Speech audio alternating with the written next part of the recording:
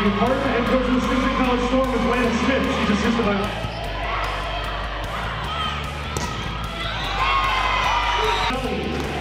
Number 16, Kylie Myers.